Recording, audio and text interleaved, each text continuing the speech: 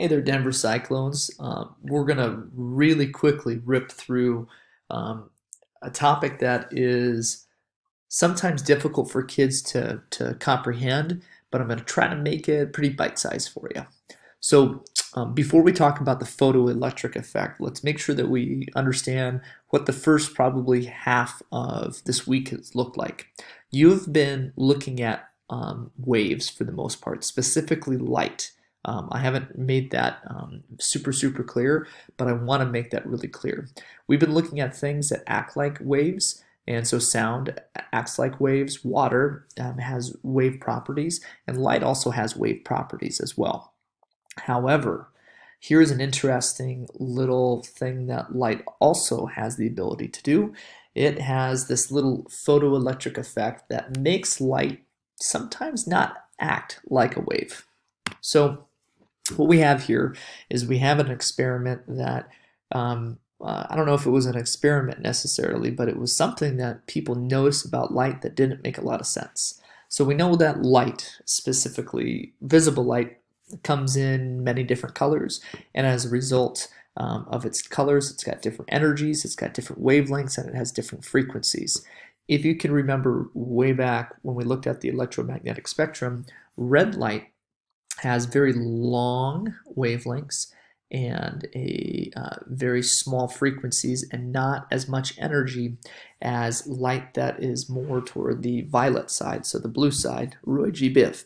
So this blue light has more energy, it has a higher frequency and a smaller wavelength. Now, when we shine light, um, different wavelengths um, on metal objects or other things that have um, uh, have electrons, which is most matter, we, we find that sometimes with specific metals and different frequencies of light, we can actually knock off, and that's probably the best way to describe it, knock off electrons that actually exist on the metal, which doesn't make a lot of sense because waves should not have the ability to take matter, which electrons are examples of matter, and actually cause them to displace. You know, it uh, we certainly can cause matter to vibrate, but to take that matter and eject it or emit it is something that waves should not be able to do. And what but what they found out is this photoelectric effect um, occurs where high um, higher energy waves of light, like green light and violet or blue light, have the ability to cause electrons to emit from the metal when they get exposed to this light.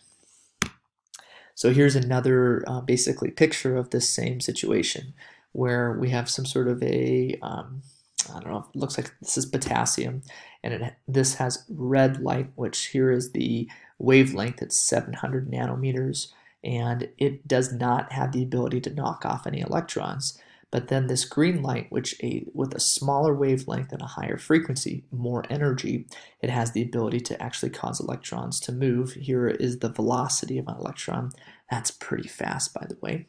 And then we take this blue or violet light, which is even fat, you know, even even smaller of a wavelength and even higher frequency, more energy. It hits the electron and causes the electron to move even faster. Again, this is all very interesting because light should not have the ability to do this. But the photoelectric effect is absolutely real. So it begs us the question, what's correct? Is light a wave? Is light a particle? Or is light both?